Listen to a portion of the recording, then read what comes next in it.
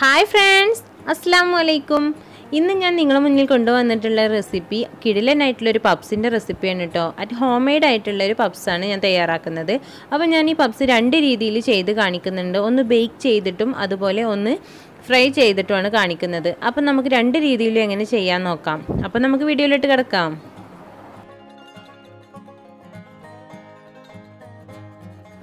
ഞാനിവിടെ ആദ്യമായിട്ട് എടുത്തിട്ടുള്ള ഒരു ബൗളിലോട്ട് രണ്ട് കപ്പ് മൈദ എടുത്തിട്ടുണ്ട്.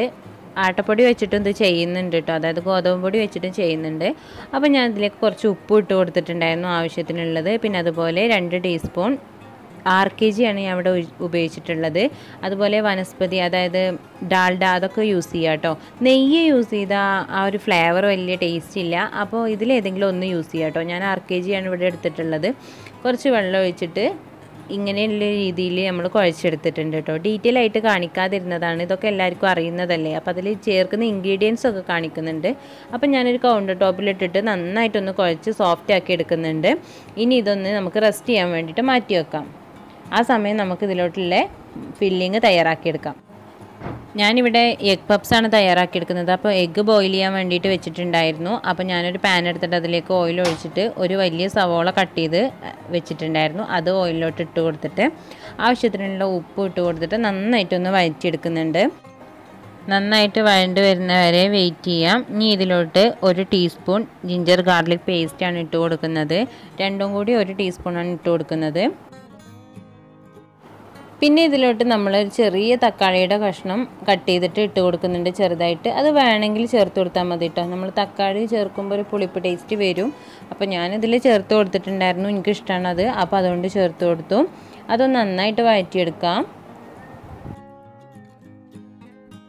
ഈ സമയം വേണമെങ്കിൽ പച്ചമുളക് ചെറുതായിട്ട് കട്ട് ചെയ്തിട്ട് കൊടുക്കാം കേട്ടോ ഞാനിവിടെ ഇട്ട് കൊടുത്തിട്ടില്ല. ഇപ്പോൾ ഞാൻ ടേസ്റ്റ് നോക്കിയ സമയത്ത് ചെറുതായിട്ട് ഉപ്പിന്റെ ഒരു കുറവുണ്ടായിരുന്നു. അപ്പോൾ ഞാൻ കുറച്ച് ഉപ്പ് ഇട്ട് കൊടുത്തു. പിന്നെ അതുപോലെ അര ടീസ്പൂൺ മുളക് പൊടി ഇട്ട് കൊടുക്കുന്നുണ്ട്. മഞ്ഞൾപ്പൊടിയൊക്കെ നിങ്ങൾക്ക് വേണമെങ്കിൽ ചേർത്ത് കൊടുക്കാം കേട്ടോ. കാൽ ടീസ്പൂൺ ഗരം മസാല ഇട്ട് കൊടുക്കുന്നുണ്ട്. പൗഡേഴ്സൊക്കെ നിങ്ങൾക്ക് ഇഷ്ടമുള്ള പോലെ ഇട്ട് കൊടുക്കാം. ഞാൻ മഞ്ഞൾപ്പൊടി മല്ലിപ്പൊടി ഒന്നും ചേർത്തിട്ടില്ല. അപ്പോൾ ഇനി ചെറുതായിട്ടൊരു വേപ്പില നമുക്ക് കറിവേപ്പില നന്നായിട്ട് ചെറിയതായിട്ടൊന്ന് കട്ട് ചെയ്തിട്ട് ഇട്ട് കൊടുക്കാം. അപ്പോൾ നമ്മളെ മസാല ഇനി മാറ്റി വെക്കാം കേട്ടോ. ഇനി നമുക്ക് നമ്മളെ ഡോ ഒന്ന് ക്ലിയർ ആക്കി എടുക്കാം. ഇപ്പോൾ നമ്മൾ ഡോ നന്നായിട്ട് സോഫ്റ്റ് ആയിട്ട് കിട്ടിയിട്ടുണ്ട് കേട്ടോ റെസ്റ്റ് ചെയ്തപ്പോൾ നന്നായിട്ട് സോഫ്റ്റ് ആയിട്ട് കിട്ടിയിട്ടുണ്ടായിരുന്നു. അപ്പോൾ നമുക്ക് ഒന്നുകൂടി കയ്യിലിട്ട് നന്നായിട്ട് കുഴച്ചിട്ട് ചെറിയ ബോൾസ് ആക്കിയിട്ട് മാറ്റി വെക്കാം കേട്ടോ ഞാനിവിടെ ആറ് ബോൾസാണ് എടുത്തിട്ടുള്ളത്.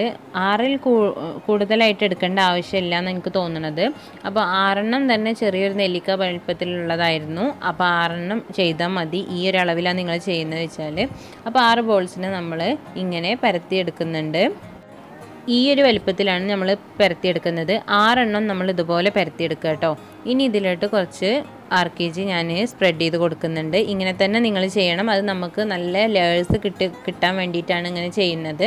അപ്പോൾ ഇനി കുറച്ച് മൈദ കൂടി തൂവി കൊടുക്കുകയാണ്. ഇനി ഇതിന്റെ മുകളിൽ നമ്മൾ അങ്ങനെ ഓരോ സ്റ്റെപ്പ് സ്റ്റെപ്പായിട്ട് ഓരോ പരത്തി വെച്ചതും ഇട്ട് കൊടുത്തിട്ട് നമുക്ക് റെഡിയാക്കി എടുക്കാം.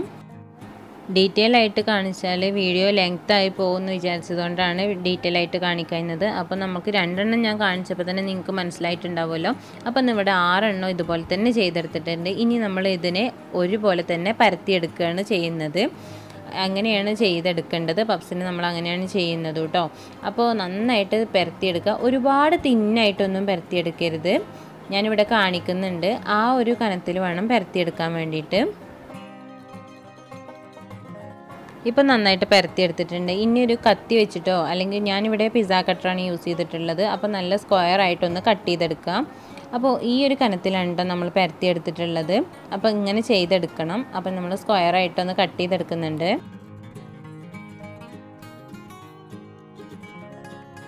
സ്ക്വയർ ആയിട്ട് കട്ട് ചെയ്തതിന് ശേഷം നമ്മളുടെ സെന്ററിലൂടെ ആറ് ഭാഗങ്ങളാക്കിയിട്ട് എടുക്കുന്നുണ്ട്. ഇതുപോലെ തന്നെ എടുക്കുക.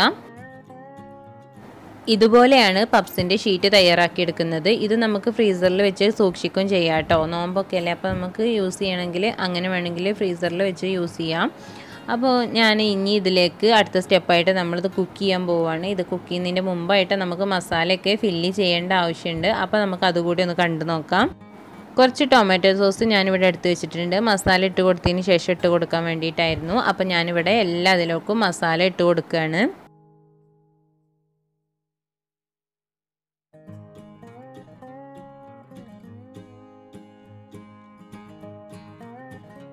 ഇപ്പോൾ നമ്മൾ മസാലയൊക്കെ ഫിൽ ചെയ്ത് കഴിഞ്ഞിട്ടുണ്ട്. ഇനി ബോയിൽ ചെയ്തിട്ട് നടുക് കട്ട് ചെയ്തെടുത്തിട്ടുള്ള ഒരു കോഴിമുട്ട കമഴ്ത്തിയിട്ടാണ് വെച്ച് കൊടുക്കേണ്ടത്. ഈ സമയത്ത് നമ്മൾ ഈ മസാല വെച്ച് കഴിഞ്ഞാൽ കുറച്ച് ടൊമാറ്റോ സോസ് ഒഴിച്ച് കൊടുക്കാമെന്ന് പറഞ്ഞിട്ടുണ്ടായിരുന്നു. അപ്പോൾ ഞാൻ വീഡിയോ എടുക്കുന്ന തിരക്കിൽ വിട്ടുപോയതാണ് കേട്ടോ അപ്പോൾ ഇനി അത് കഴിഞ്ഞതിന് ശേഷം നമ്മൾ ഇത് ഇങ്ങനെയാണ് ഫോൾഡ് ചെയ്തെടുക്കുന്നത്. ഇങ്ങനെയാണ് ചെയ്തെടുക്കുന്നത്. അപ്പോൾ അതൊക്കെ നിങ്ങളുടെ ഇഷ്ടത്തിനനുസരിച്ച് ചെയ്യാം കേട്ടോ ഇങ്ങനെ ചെയ്തെടുക്കുകയാണ് നമ്മൾ പപ്സിന്റെ ആ ഒരു ഷേപ്പ് കിട്ടുക. അപ്പോൾ ഇങ്ങനെ ഈ സൈഡ്സൊക്കെ വേണമെങ്കിൽ ചെയ്ത് കൊടുത്താൽ മതി. ചെയ്തിട്ടില്ലെങ്കിൽ ഒരു ഭംഗി ഉണ്ടാവില്ല കാണാനായിട്ട്. അതുകൊണ്ടാണ് സൈഡ്സൊക്കെ ഇങ്ങനെ ചെയ്ത് കൊടുക്കുന്നത്. അതൊക്കെ നിങ്ങൾക്ക് വേണമെങ്കിൽ ചെയ്ത് കൊടുത്താൽ മതി കേട്ടോ അപ്പോൾ ഇത് നമ്മളെല്ലാം ഓരോന്നോരോന്നായിട്ട് ഇങ്ങനെ ചെയ്തെടുക്കുന്നുണ്ട്. ഞാനിവിടെ വീഡിയോ തുടങ്ങുന്ന സമയത്ത് തന്നെ പറഞ്ഞിട്ടുണ്ടായിരുന്നു രണ്ട് രീതിയിലാണ് നമ്മളിത് ചെയ്തെടുക്കുന്നത് എന്നുള്ളത്. ഒന്ന് ബേക്ക് ചെയ്തിട്ട് അത് ഞാൻ ഓവനിലല്ല കേട്ടോ ബേക്ക് ചെയ്യുന്നത്. നമ്മൾ സദാ കുക്കറിൽ പ്രീ ഹീറ്റ് ചെയ്തിട്ടാണ് ബേക്ക് ചെയ്തെടുക്കുന്നത്. അപ്പം ഞാനൊരു പത്ത് minute cooker pre pre heat ചെയ്യാൻ വെച്ച് വെച്ചിട്ടുണ്ടായിരുന്നു. അപ്പം ഞാനൊരു കോഴിമുട്ടയുടെ മഞ്ഞ മാത്രം എടുത്തിട്ട് നന്നായിട്ടൊന്ന് ബീറ്റ് ചെയ്തിട്ട് ഈ പപ്സിന്റെ മുകളിലായിട്ട് വെച്ച് കൊടുക്കുന്നുണ്ട്. അപ്പോൾ പപ്സിന്റെ മുകളിലായിട്ട് ഇത് വെച്ച് കൊടുത്തു കഴിഞ്ഞാൽ നന്നായിട്ടൊരു ഗോൾഡൻ ബ്രൗൺ കളർ നമുക്ക് കിട്ടും അതിന് വേണ്ടിയിട്ടാണ് കേട്ടോ അപ്പോൾ ഞാനിത് ചെയ്തിട്ടുള്ള ഒരു തട്ടിൽ ഒരു ബട്ടർ പേപ്പർ വിരിച്ചിട്ടാണ് വെച്ച് കൊടുത്തിട്ടുള്ളത്. ഇത് കുറച്ച് കൂടുതൽ സമയം ബേക്ക് ചെയ്തെടുക്കണം. ഞാൻ നാൽപ്പത് മിനിറ്റാണ് ഇത് ബേക്ക് ചെയ്തെടുക്കുന്നത്. അപ്പോൾ ഇനി അടുത്തതായിട്ട് നമ്മൾ ചെയ്യുന്നത്. അടി കട്ടിയുള്ള വേറൊരു പാത്രത്തിലോട്ട് കുറച്ച് ആർ കെ ജി ഒഴിച്ചിട്ട് ഡീപ് ഫ്രൈ ആയിട്ടാണ് ഇത് ചെയ്തെടുക്കുക. മുങ്ങി പൊരിക്കാനുള്ള രീതിയിലല്ല. അപ്പോൾ ഇതൊരു പത്ത് മിനിറ്റ് ലോ ഫ്ലെയിമിലിട്ടിട്ട് ഒരു ഭാഗം മറിച്ചിട്ട് മറ്റേ ഭാഗം മറിച്ചിട്ട് അങ്ങനെ അങ്ങനെ ഒരു പതിനഞ്ച് മിനിറ്റാണ് ഇത് കുക്ക് ചെയ്തെടുക്കുന്നത്. അപ്പോൾ അടച്ച് വെച്ചിട്ട് വേണം ഇത് കുക്ക് ചെയ്തെടുക്കാൻ വേണ്ടിയിട്ട്.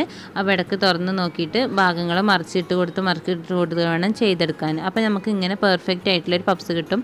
അപ്പോൾ പപ്സ് തയ്യാറാക്കിയതിൽ വെച്ചിട്ട് എനിക്ക് ബേക്ക് ചെയ്തതിലും കൂടുതലായിട്ട് എനിക്ക് ഇഷ്ടപ്പെട്ടത് ഇങ്ങനെ ഫ്രൈ ചെയ്തെടുത്തപ്പോഴാണ്. ഇതാണ് നമുക്ക് കറക്റ്റായിട്ട് ആ ഒരു ടേസ്റ്റും അതുപോലെ തന്നെ തോന്നുന്നതും വരുന്നത് ഇതുപോലെ ചെയ്യുമ്പോഴാണ്. ബേക്ക് ചെയ്തത് എനിക്ക് വലിയ ഇഷ്ടമായില്ല ബേക്ക് ചെയ്തപ്പോൾ ഇങ്ങനെയാണ് വന്നിട്ടുള്ളത്. കുക്കായിട്ടുണ്ടായിരുന്നു പക്ഷേ ആ ഒരു ടേസ്റ്റ് വന്നില്ല. ഓവൺ അല്ലാത്തതുകൊണ്ടായിരിക്കാമെന്ന് വിചാരിക്കണു. അപ്പോൾ എല്ലാവരും ഒന്ന് ട്രൈ ചെയ്ത് നോക്കുക. കമൻസ് അറിയിക്കുക കേട്ടോ. അപ്പോൾ എല്ലാവർക്കും ഇഷ്ടമായിട്ടുണ്ടാവും എന്ന് വിചാരിക്കുന്നു. നല്ല ഈസി ആയിട്ട് തന്നെയാണ് ഇത് ചെയ്തെടുത്തിട്ടുള്ളത്. ഒരു ബുദ്ധിമുട്ടും ഇല്ല. അപ്പോൾ എല്ലാവരും ഒന്ന് ട്രൈ ചെയ്ത് നോക്കുക. പിന്നെ ഒരു കാര്യം കൂടി നമ്മളെ ചാനൽ സബ്സ്ക്രൈബ് ചെയ്യാത്ത കൂട്ടുകാരാണെങ്കിൽ ഒന്ന് സബ്സ്ക്രൈബ് ചെയ്യുക കേട്ടോ കൂടെ ബെല്ലൈക്കൺ കൂടി പ്രസ് ചെയ്യുക അപ്പോൾ ഞാൻ വീഡിയോ ഇടുന്ന അതേ സമയം തന്നെ നിങ്ങൾക്ക് നോട്ടിഫിക്കേഷൻ വരുന്നതായിരിക്കും. പിന്നെ അതുപോലെ തന്നെ വീഡിയോ ഇഷ്ടമായി കഴിഞ്ഞാൽ ഒന്ന് ഷെയർ ചെയ്യുക ലൈക്ക് ചെയ്യാൻ പിന്നെ മറക്കില്ലല്ലോ. Okay bye